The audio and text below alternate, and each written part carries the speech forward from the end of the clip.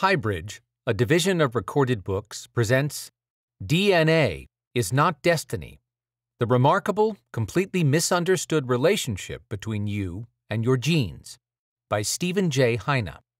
Read by Stephen R. Thorne.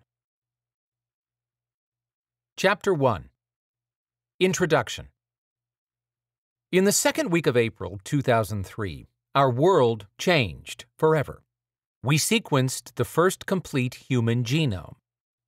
We now have access to information about ourselves that no previous generation has ever had. We can peer directly into our own genetic makeup. We each have a unique string of nucleotides in our cells that contributes to who we are. And since that fateful week in 2003, we are able to unravel this string and read it. It's a six billion letter autobiographical code that seemingly flows straight from the pen of God. Our genome contains deep secrets about us where our ancestors came from, which diseases we'll likely avoid and which ones might kill us, and what kinds of physical and psychological attributes we're predisposed to have. This remarkable scientific revolution seems to provide us with nothing short of a window into our souls.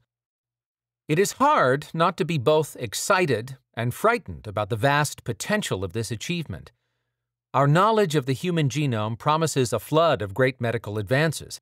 For example, President Bill Clinton foresaw a future in which genetic discoveries made it conceivable that our children's children will know the term cancer only as a constellation of stars.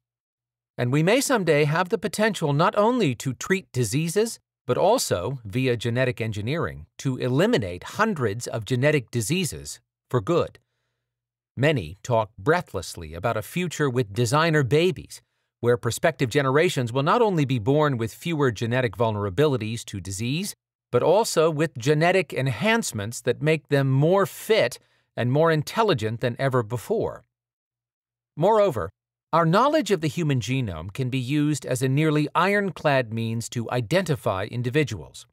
For example, the popular crime drama CSI, Crime Scene Investigation, was based on the premise that crime scenes were riddled with invisible traces of DNA that unambiguously identified all who were involved. Indeed, this plays out in real court cases that depend on DNA testing to identify the perpetrators. Sometimes this endeavor can get taken to absurd ends, such as the Hong Kong Cleanup Initiative, which promises to collect DNA traces from litter to create a picture of the litterer's face, to publicly identify and shame him or her. The same logic has been exploited by PooPrints DNA testing kits, which promise to identify delinquent dog owners who have failed to clean up after their pet.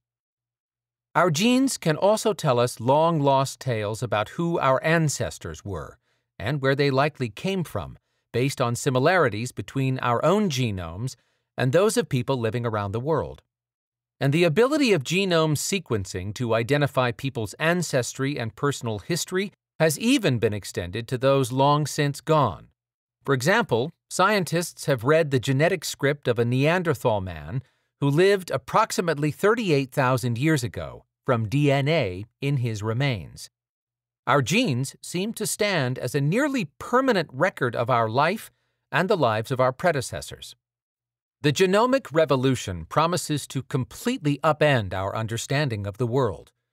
And with the advent of direct to consumer genetic testing companies, such as 23andMe, you can now affordably get yourself genotyped. What will you do when you learn about the genetic secrets of your own life? My bet is that you're going to respond in all the wrong ways. This is not because of any specific genes that you might learn about, but because of the psychological machinery in your brain which influences how you think about genes. We come equipped with a set of psychological biases that ascribe almost mystical powers to our genes. These biases can lead to racism, sexism, or eugenics, but they can also foster tolerance for others, sympathy, and potential for progress. We're going to explore how these psychological biases work, how they make us vulnerable to the massive hype surrounding the genomic revolution, and how we can corral them into more effective ways of thinking. The Genomics Revolution and You If you feel somewhat overwhelmed and anxious about this genomic revolution, you're not alone. Technological innovations can always be challenging to cope with, but the problem is even more daunting when it comes to genomics.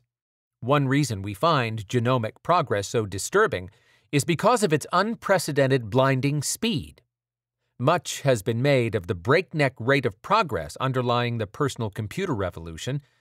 Intel co founder Gordon Moore's famous Moore's Law claimed that the number of transistors on microchips would double every two years. But the pace of the genomic revolution far outstrips this. When the first complete human genome was sequenced in 2003, it cost a few billion dollars and thousands of person years worth of efforts. Yet barely a decade later, a complete sequence of your own genome was available for about $1,000 and would be ready for you within a matter of days.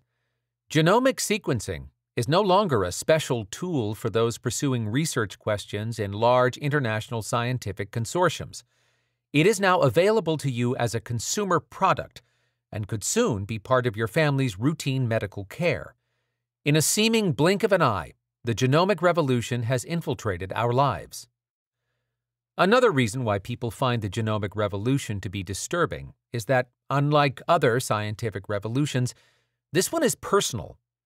Splitting the atom may have changed the world, but discovering your own genome will change how you view yourself. Reading over your unique sequence of DNA can feel as though you are gazing into a crystal ball, discovering secrets that have been passed down to you from your ancestors. But the main reason we are so anxious about the genomic revolution is that we are psychologically equipped to misunderstand it. Unlike, say, the study of subatomic physics, where almost no one outside of the physics community feels that he or she can make heads or tails of it, the notion that we possess genes that make us who we are makes intuitive sense. But it turns out that conclusion is inaccurate, or at least imprecise. Yet we persist in this belief that our genes control our lives. We are genetic fatalists. To see our fatalistic thoughts on genes in action, let's visit the 2014 television series Dead Famous DNA, which was broadcast on Britain's Channel 4. The premise of the show is described by its host, Mark Evans. I want to hunt down the DNA of the most famous people who ever lived. The aim is to find out who they really are. Evans enters the seedy world of body part trafficking to obtain and genotype parts of dead celebrities and reveal the secrets about their lives. The show aspires to understand what made Einstein so intelligent, Marilyn Monroe so attractive, and Adolf Hitler so evil? The answers to these fundamental questions were supposedly all waiting to be read directly from the genomes of these famous people. My favorite episode was when Evans sought to explain what killed Elvis Presley. He obtained a hair sample, which was purportedly snipped from Elvis's head and placed in safekeeping by his barber. Authentic samples are a key challenge for the show, in this same episode, Evans paid $5,000 for what was purported to be a lock of King George's hair, only to have the genotyping lab inform him that he had just bought a piece of a very expensive wig.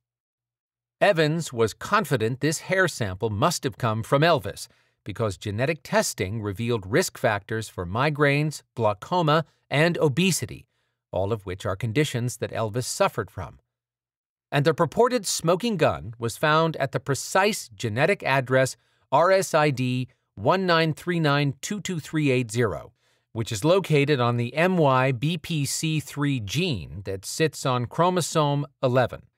At this location, the sample possessed a G nucleotide, in contrast to a C like most people have. This particular genetic variant was suspected to be associated with familial hypertrophic cardiomyopathy, a serious kind of heart disease, and Elvis did indeed die of a heart attack. Evans inquired about this variant to geneticist Stephen Kingsmore. Do you think this is significant enough to tip it towards? Kingsmore replied in somewhat guarded terms it looks pretty suspicious that this may indeed have contributed potentially to Elvis's death. This was summarized by Evans as evidence that Elvis's early death was his genetic destiny, and was further embellished by headlines published around the world, such as that of The Mirror. Shocking DNA results reveal Elvis Presley was always destined to die young. The mystery surrounding Elvis's early death had apparently been solved. Yet, if we look more closely at this claim, it starts to fall apart. The variant of Elvis's that the show discussed, having a G nucleotide at RSID 193922380, has not at all been shown to be a strong predictor of familial hypertrophic cardiomyopathy. To make matters worse, there were no signs from Elvis's autopsy to suggest that he could ever have been diagnosed with familial hypertrophic cardiomyopathy. It's true that near the end of Elvis's life, he was indeed suffering from migraines and glaucoma, and he had become obese. But did the genetic variants in his alleged DNA cause these? Most certainly not in any direct way. In the case of obesity, there are at least 97 common genetic variants that increase the likelihood of becoming obese. Virtually all of these have several of these variants, and the one obese relevant variant identified in Elvis's DNA by Dr. Kingsmore is not even one of the stronger predictors. The same goes for Elvis's genetic risks for migraines and glaucoma. Neither of the genetic variants identified in Elvis's DNA are strong predictors for these. Saying that these genes caused him to have these conditions is akin to saying that the unusually warm winter was what caused Donald Trump to win the Republican nomination for president in 2016. The weather may influence voter turnout, but it certainly isn't the deciding factor in the outcome. There are just far too many other factors involved. But the more obvious question that we should be asking is whether the best way to solve the mystery of what caused Elvis's heart attack is to look at his genome in the first place – after all, Elvis was hardly a poster child for a healthy lifestyle. Near the end of his life, he was reportedly addicted to multiple drugs, including Demerol, and had been hospitalized numerous times for overdosing on barbiturates. His autopsy report identified 11 drugs present in his system at the time of his death.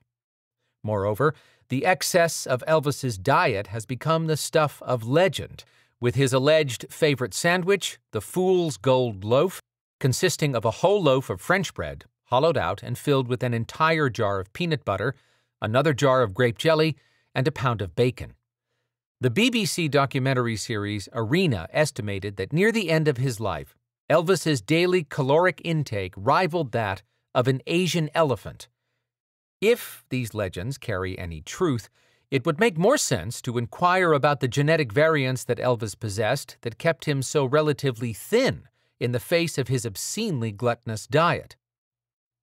The claim that Elvis's death was telegraphed in his DNA feels like a more satisfying explanation than saying he was done in by an excess of greasy sandwiches, though, doesn't it?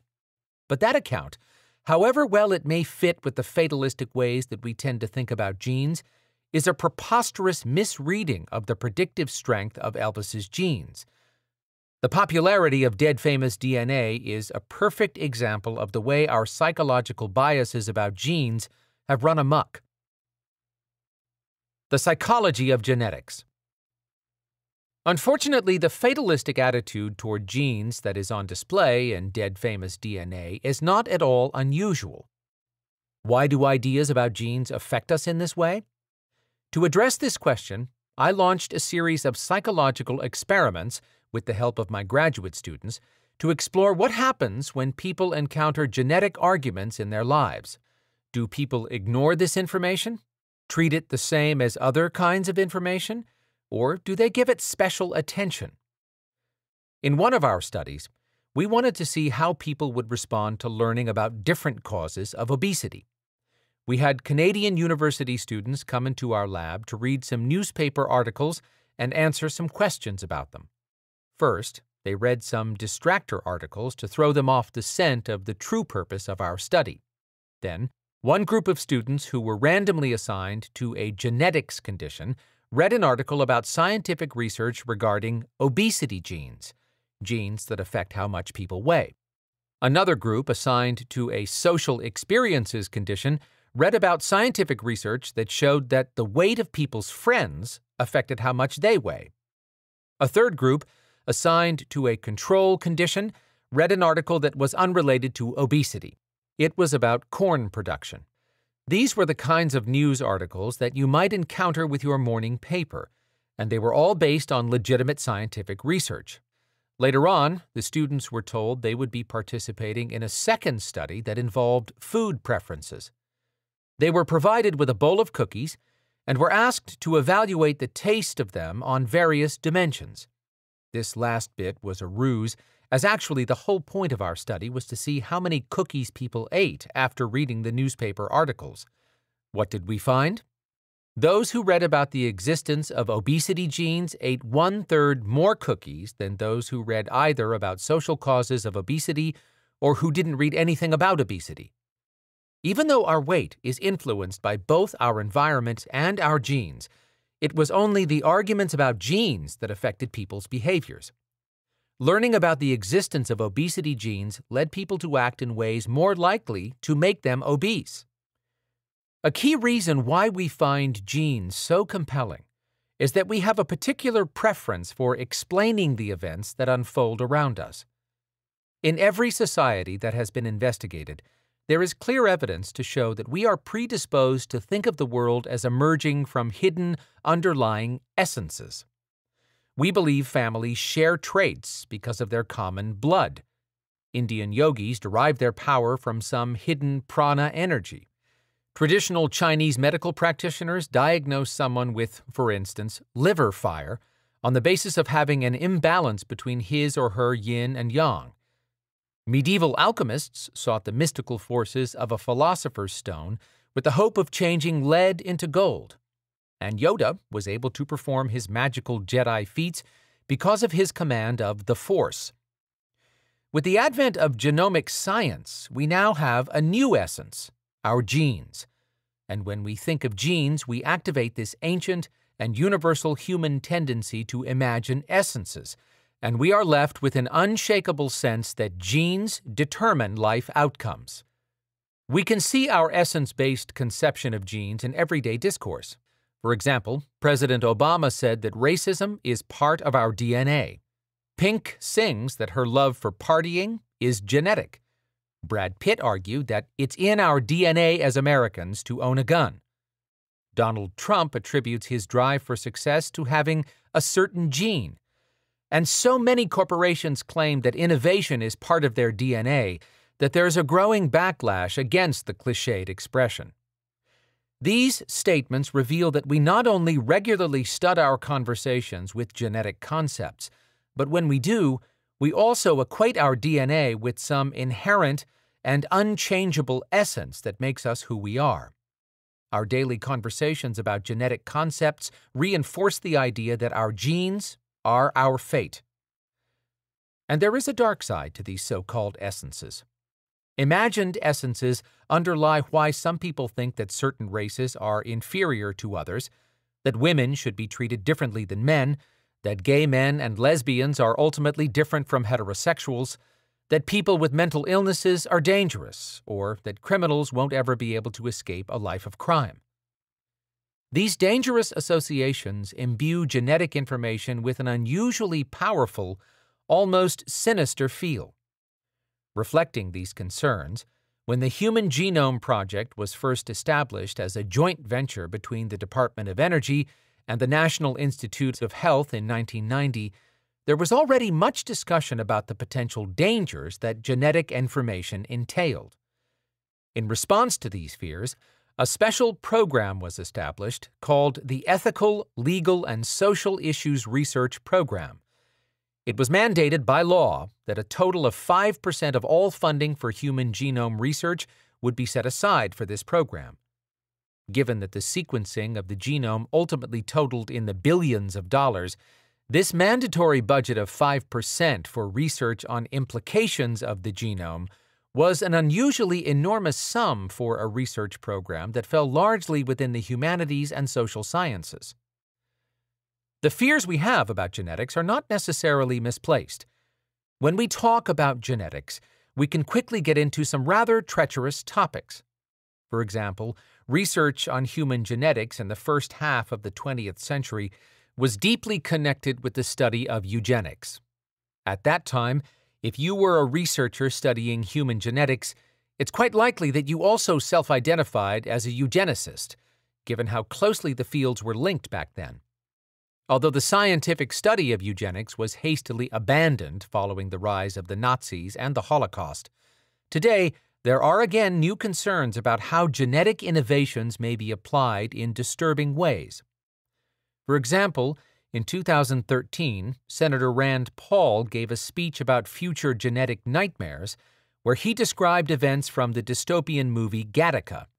Although Paul's speech got more media coverage because it turned out that he had plagiarized it from the movie's Wikipedia page, his speech is also noteworthy for his assumptions that genetic research stands to usher in a society right out of Brave New World, where the state selects for perfection.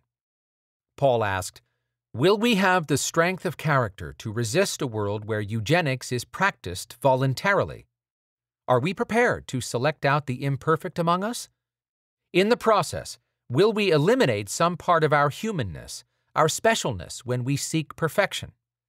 With the advent of new genetic engineering technologies, such as CRISPR Cas9, concerns about the proliferation of designer babies, contentious political debates about the perceived dangers of genetically modified organisms, and the rise of direct to consumer genomics companies such as 23andMe our concerns about dystopian genetic futures will only become more common. The genomics revolution promises to change our lives in many exciting ways, but along with these genuine scientific advances, the revolution also comes packaged with an enormous amount of unwarranted hype. Our genomes provide us with a grand vista from which to view ourselves and our world, but as long as we're peering through a set of distorted lenses, we're going to see things that aren't really there. Over the next several chapters, we're going to take a closer look at our mistaken assumptions about our genes and gain a clearer understanding of how our genes actually influence us. We'll discuss my own experiences getting genotyped and how my own psychological biases interfered with how I made sense of the feedback I received we'll see that although discussions about our genes can arouse our darkest fears and prejudices, a closer look reveals in sharp relief that our DNA is not our destiny. Chapter 2 How Genes Make You Who You Are. It was a bad case of test anxiety that launched the field of genetics. A brilliant young student, Johann Mendel, aspired to become a school teacher near the town of Heinzendorf in Silesia, now Hynčice in the Czech Republic, where he had grown up. His family had great faith in his promise as a scholar, and his sister Theresia had loaned him her portion of the family estate to pay for his studies. But despite this support and encouragement and his obvious brilliance, Mendel suffered an enormous anxiety attack during his oral examinations and failed the certification exam that would have qualified him as a teacher.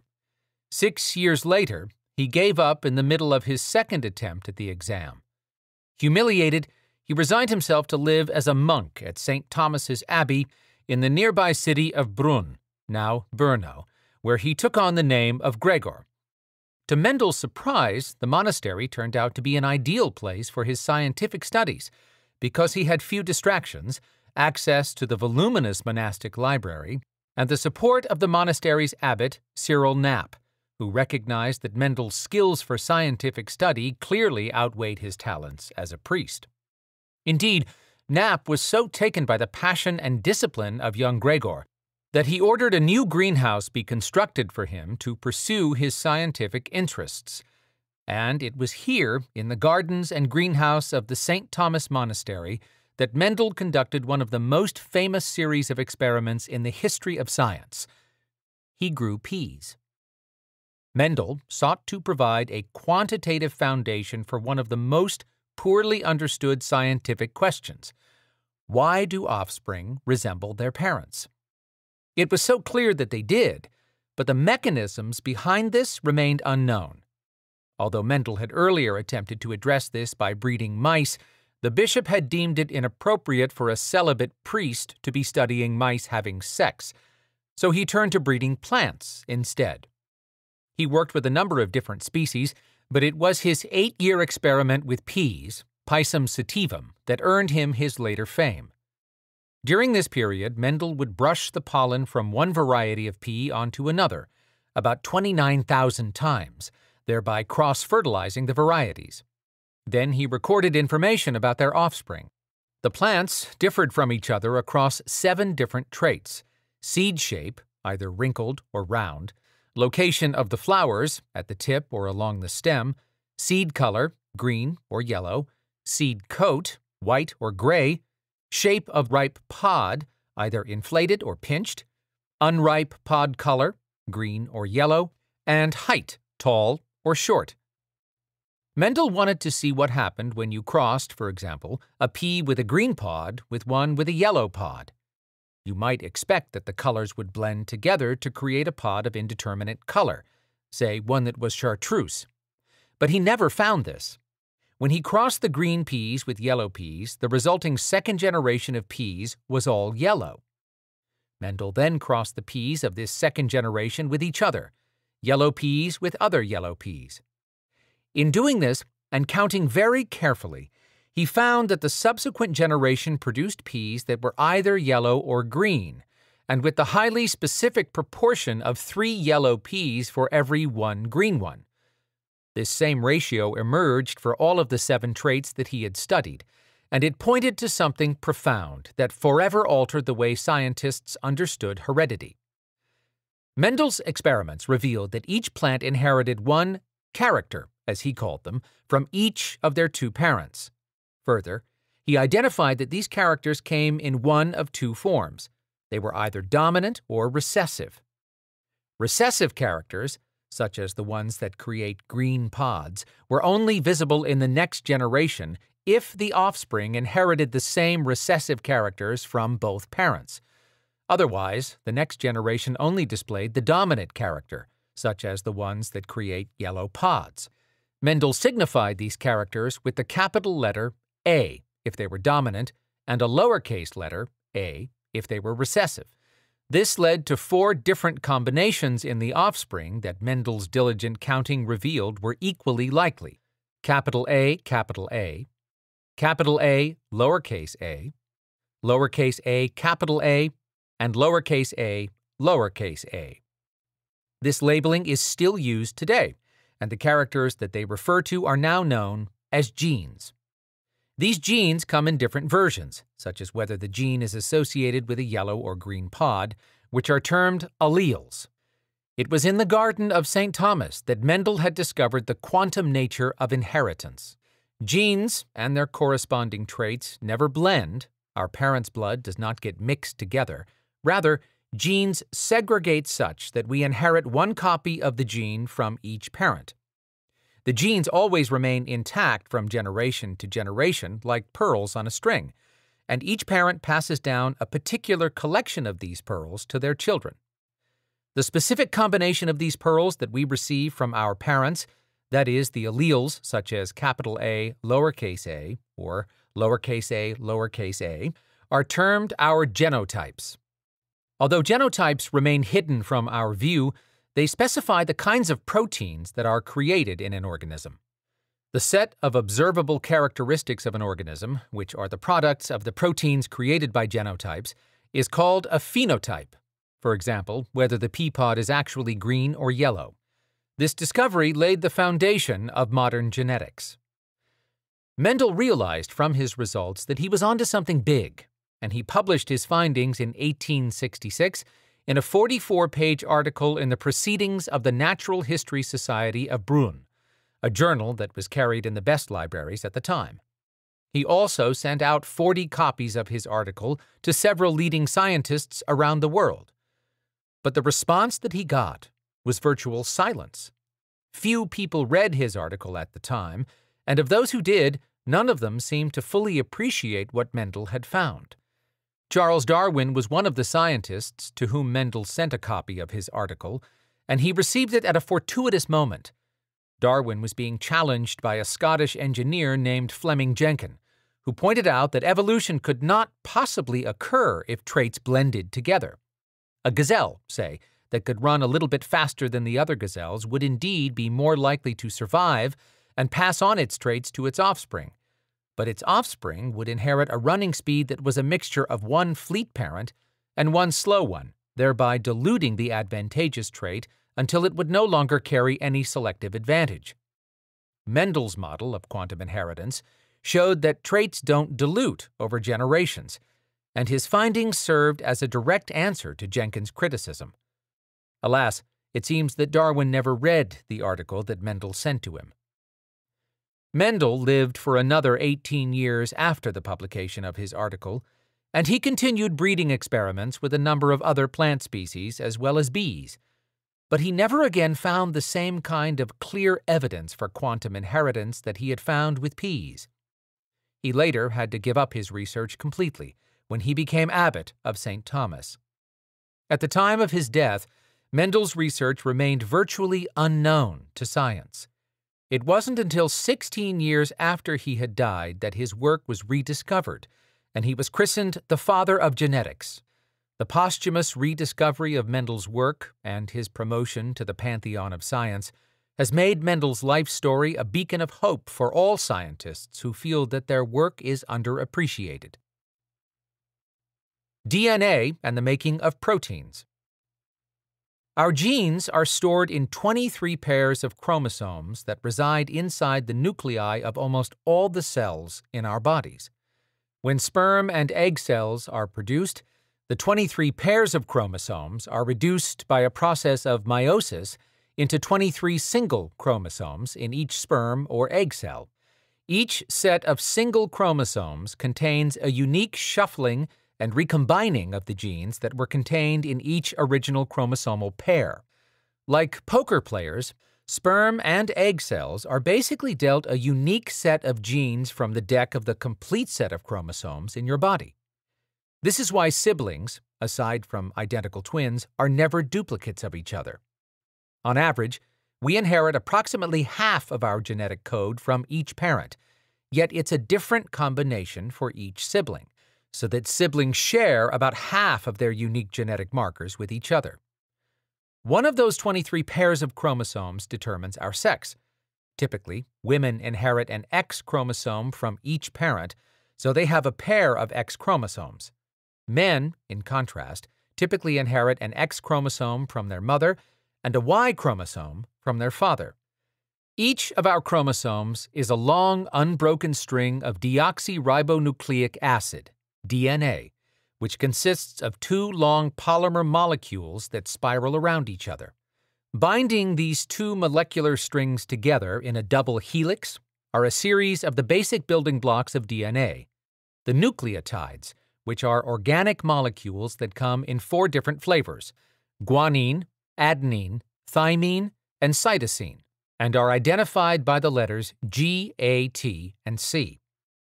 Each nucleotide is matched with its corresponding spouse on the other strand of DNA, such that G is always matched with C and A is always matched with T.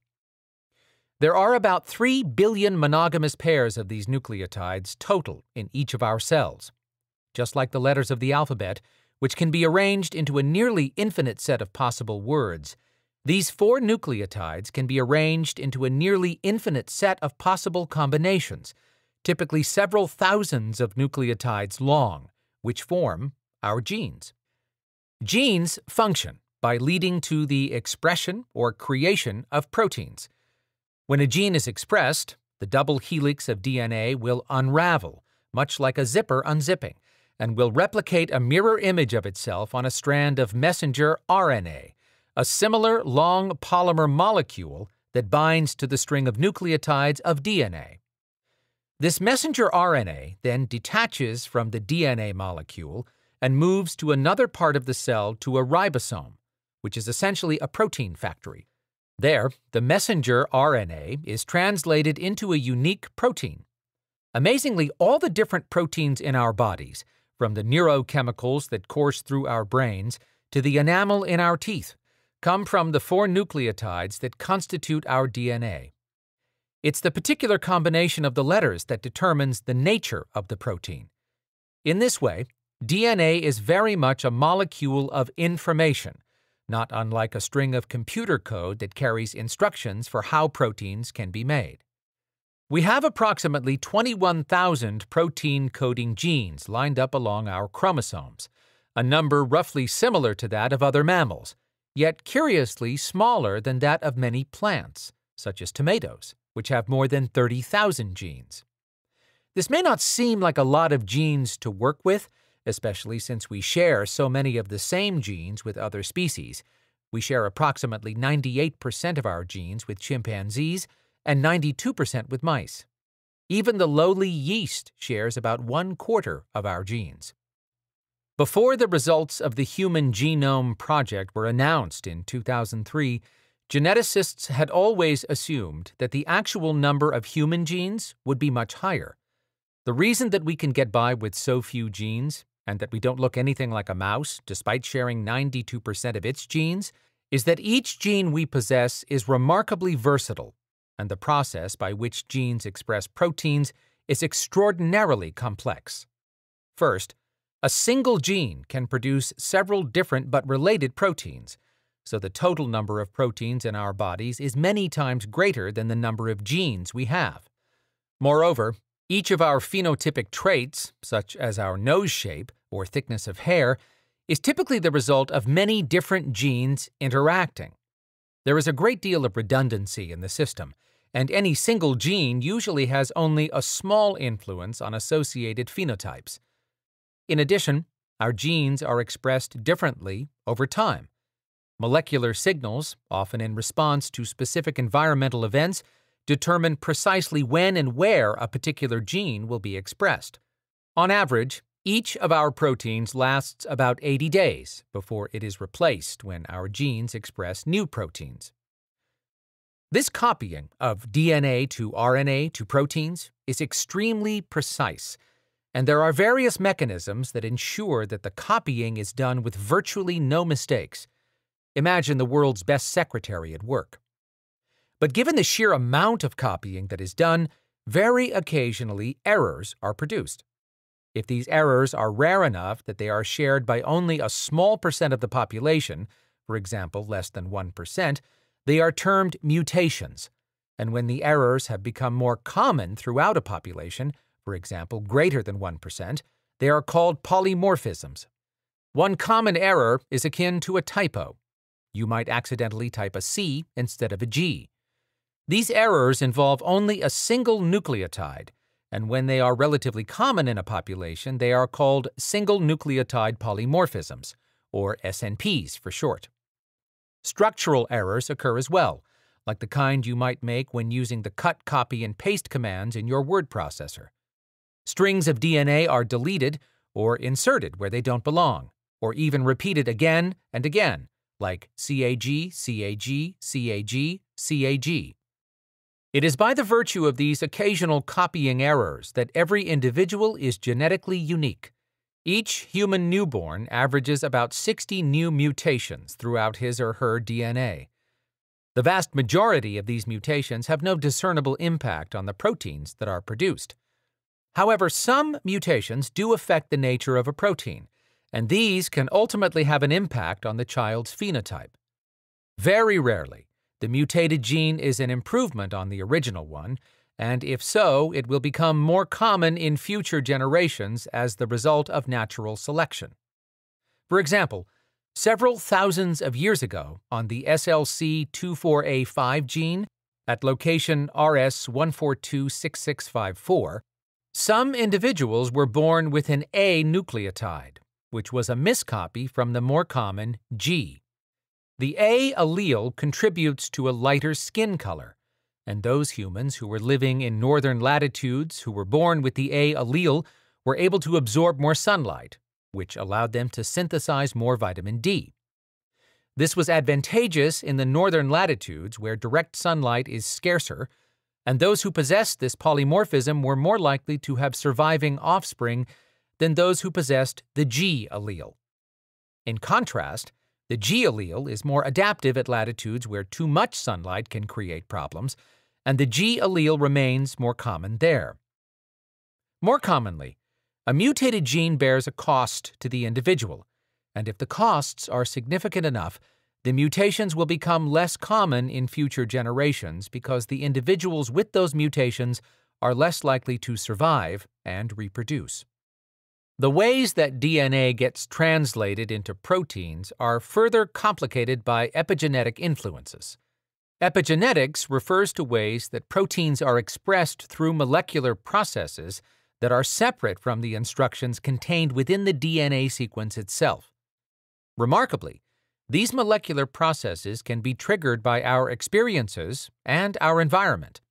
The best understood kind of epigenetic influence is through DNA methylation, in which a methyl group, a molecule composed of one carbon and three hydrogen atoms, binds to the nucleotides of the DNA itself and thereby controls how often that gene is expressed. Incredibly, these methyl groups can be heritable. They can be copied through meiosis and be inherited by the next generation. This means that our life experiences do not only affect us, but can even affect our children. A dramatic example of this was recently found in an experiment with mice. Researchers trained a group of mice to become afraid of the odor of acetophenone, which smells like cherry blossoms, by regularly pairing an electric shock to their feet with the odor. Soon, the mice showed a startle reaction whenever they encountered that specific odor. These mice were then allowed to breed, and their offspring also showed the same startled reaction to the smell of cherry blossoms. These offspring were also bred, and the next generation continued to show this same cherry blossom specific fear. The researchers dissected the animals' brains and found that the mice had larger receptors that responded to this particular smell. Moreover, an analysis of the DNA of the sperm of these conditioned mice found that there were different methylation patterns in the sperm of the mice who learned this fear compared with other mice. To rule out the possibility that the mice had learned this fear from their parents, the researchers took the sperm from males who were trained to fear the smell of cherry blossoms and artificially inseminated female mice in another lab. The brains of these offspring were dissected, and they also showed the same larger receptors for this smell. A specific phobia learned by one generation was passed through the sperm to other generations, not through the DNA sequence itself, but through the methylation patterns that affected the gene's expression. In other words, one generation's experiences led to heritable changes. We have much more to learn about epigenetic inheritance before we can draw solid conclusions, but findings such as these are fascinating. From genotypes to phenotypes. Phenotypes are ultimately what matter in terms of our lives. They are what characterize our bodies and our behaviors. Fast gazelles are more likely to escape predators than slow ones. Tall pea plants can avoid the shade better than short ones. And children with symptoms of attention deficit disorder struggle more to pay attention in class than those without the symptoms. Genotypes shape all of these. The problem, though, of identifying how genotypes get translated into phenotypes is not that straightforward. The father of behavioral genetics, Sir Francis Galton, first bumped up against this problem in 1869 when he became fascinated by the idea that genius seemed to pass through families. It's certainly not surprising that Galton had this intuition. Sitting at the table at his family's Christmas dinner, he must have noticed how his own genius was matched both by his half cousin, Charles Darwin, and their eminent polymath grandfather, Erasmus Darwin. One possibility for this concentration of intellect in the Darwin Galton family is that grandfather Erasmus had provided a stimulating educational environment that had cultivated this blossoming of talent. But Galton was convinced of a different kind of explanation. He believed that there was a biological essence underlying genius. He had the brilliant inspiration that he could provide evidence for this by studying twins. Galton recognized that there were two different kinds of twins those that were no more similar to each other than other siblings, and those strongly alike due to two germinal spots on the single ovum. He sent letters to 35 pairs of seemingly identical twins and another to 20 pairs of apparently fraternal twins to look for evidence of any similarities in their behaviors. The replies that he received revealed that his fraternal twins indicated no particular degrees of similarity beyond that of any other pairs of similarly aged siblings. In sharp contrast, many of the replies from his identical twins were striking in how alike they were. One pair of identical twins developed a toothache at the same time, in the same tooth, which needed to get extracted. Another pair developed the same curious difficulty at the age of 20, so that they could no longer run down stairs. Identical twins reported having the same dreams at the same times, unknowingly buying each other the same gifts or getting the same jobs. The similarities of the identical twins were so striking and indicated that the role of genes was so powerful that Galton claimed, My only fear is that my evidence seems to prove too much and may be discredited on that account, as it seems contrary to all experience that nurture should go for so little. Galton's curious findings with twins demonstrated that the degree of biological relatedness between individuals would allow us to determine how much of any given trait was heritable. That is, genes play a role in explaining why one individual is different from another. And this led to the founding of the field of behavioral genetics. The two most common methods of estimating heritability are to compare identical and fraternal twins, or to compare adopted and biological children. Because identical twins share 100% of their genetic variants, whereas fraternal twins only share 50% of theirs, whenever we see evidence that identical twins are more similar to each other than fraternal twins for a given trait, we have evidence that the trait is heritable. Likewise, if children are more similar to their biological parents, who are 50% genetically similar, for a given trait than children are to their adopted parents, who are close to 0% genetically similar, then we again have evidence that the trait is heritable. What exactly does it mean to say that a trait is heritable? This is not at all an intuitive concept, so let's unpack it a bit. Height is a trait that is highly heritable. Twin and adoptee studies indicate the heritability of height is as high as 80% to 90%. So, what does this mean? In contrast to what many people intuitively think, heritability does not refer to the degree that something is inherited from one's parents.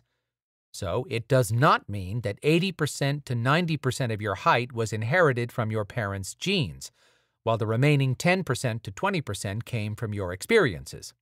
Rather, heritability refers to how much of a trait's variance within a given sample is due to genetics.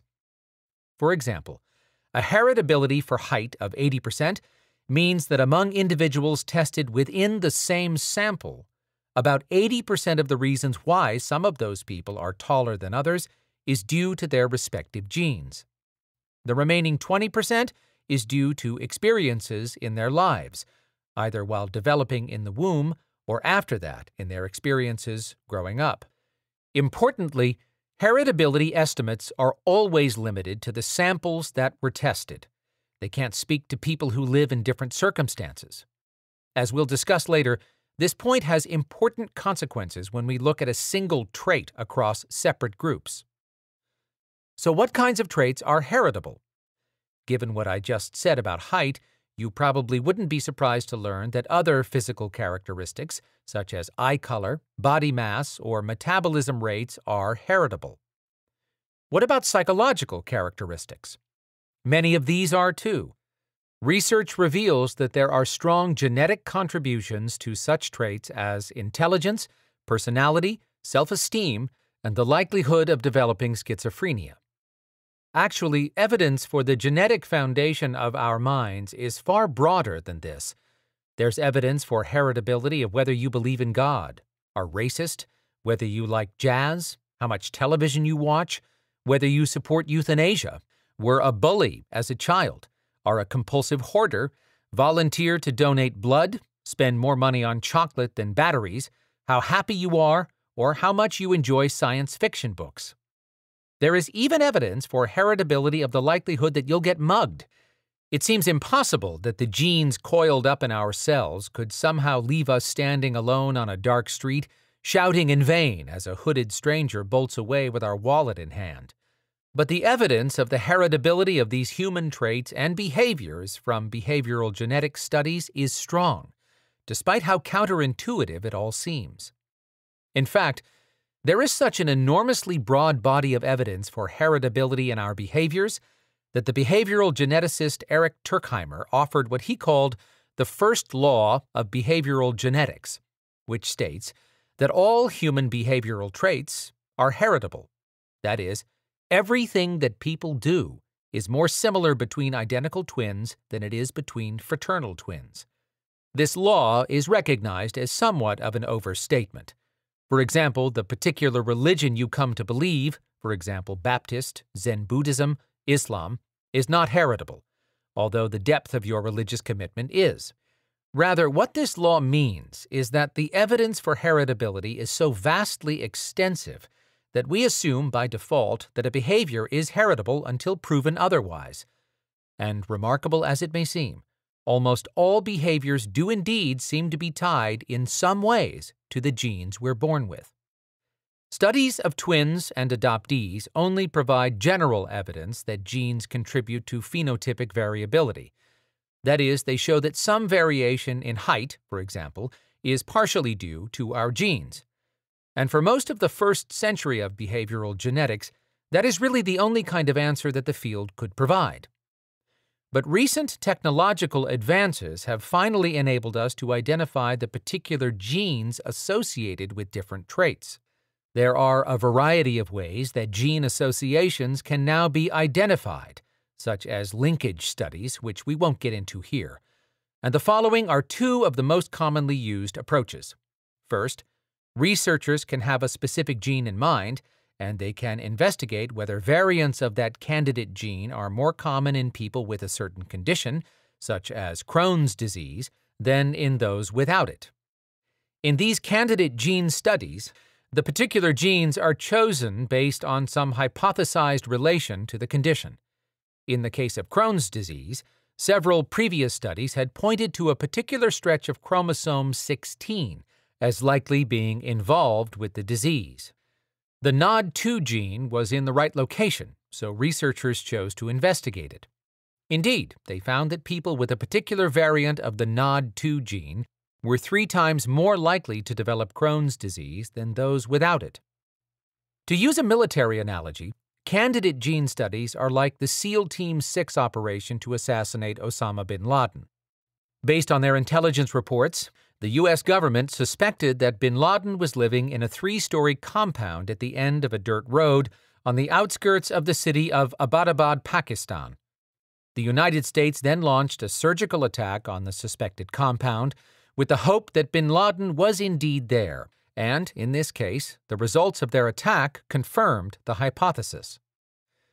If candidate gene studies are akin to surgical military strikes, then another common means for identifying relevant genes, genome wide association studies, are the equivalent of the carpet bombing of Dresden. These studies rely on a DNA chip that can quickly and cheaply provide genotype information for several hundred thousand different SNPs, those specific places along the genome where individuals differ by a single nucleotide.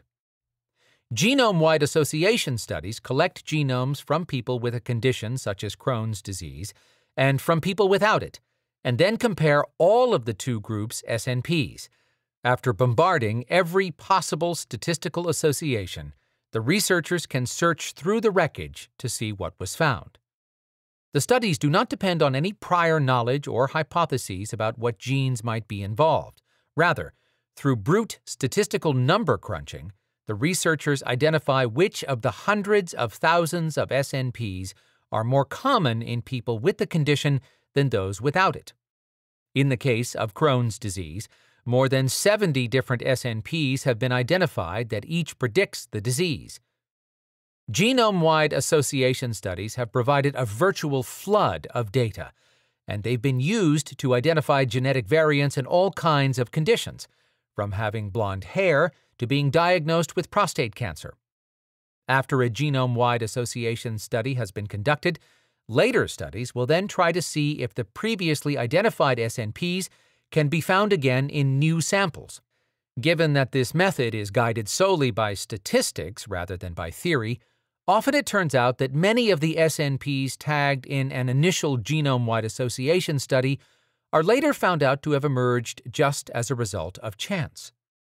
The goal is that over the course of several of these studies, a set of SNPs will emerge reliably, and researchers will be able to conclude that those variants play a role in the development of the condition.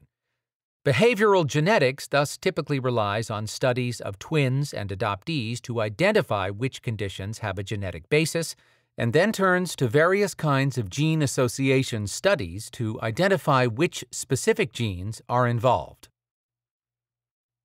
Switch thinking and the evidence for genetic determinism. The Mütter Museum of Medical Curiosities in Philadelphia is not for the faint hearted. Its dimly lit glass cabinets contain a collection of disturbing specimens of all the many horrible ways that the human body can go awry. There are displays of an impossibly swollen, nine foot long colon, wax models of skulls with horns growing out of them, and the death cast of the bodies of the original Siamese twins, Chang and Eng. But it is not until you descend the dark staircase to the basement of the museum that you encounter one of the museum's most fascinating attractions the skeleton of Harry Eastlack that hangs eerily in the corner. As you get closer, you realize it's unlike any other skeleton that you've ever seen.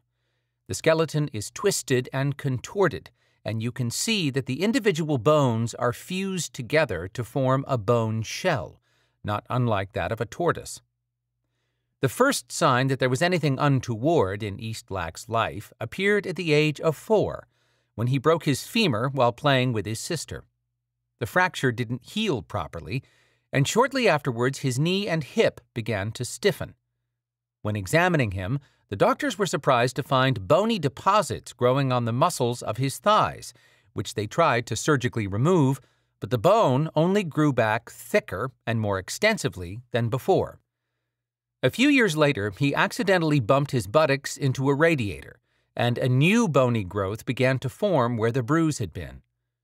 From that point on, Eastlack's life became an endless series of futile surgeries the doctors seemed more like gardeners as they cleared away in vain whatever problematic bony deposits they could find along his body, only to watch them grow back with a vengeance, like a tangle of uncontrollable weeds.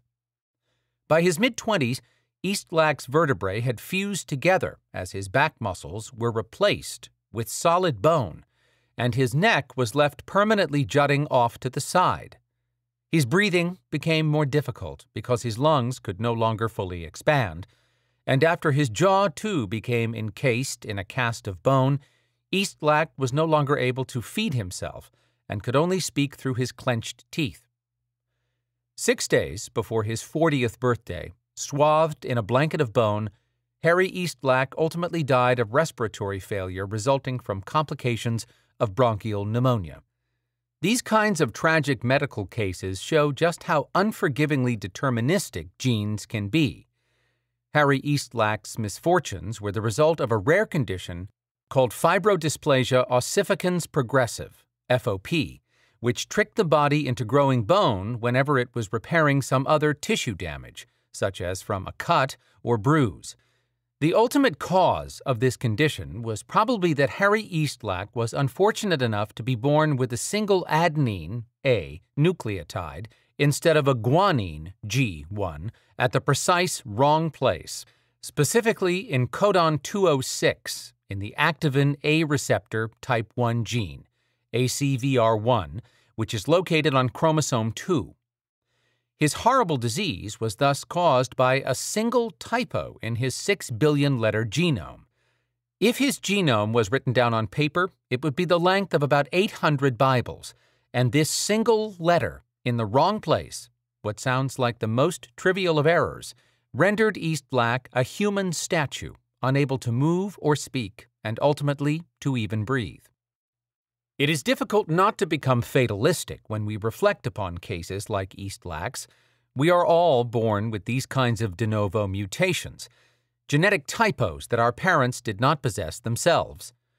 On average, we each have several dozens of these, and the only thing that distinguishes the typos that we have from Eastlack's are where they lie along our genomes. Fortunately, for most people, these typos have relatively little impact on their health.